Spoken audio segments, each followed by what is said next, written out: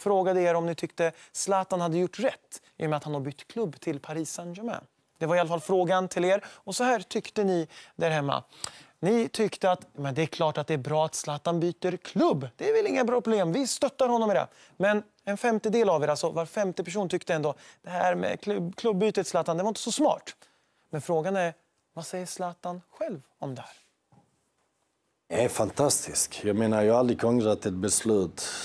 Och eh, det jag gör, det är menat att det ska hända.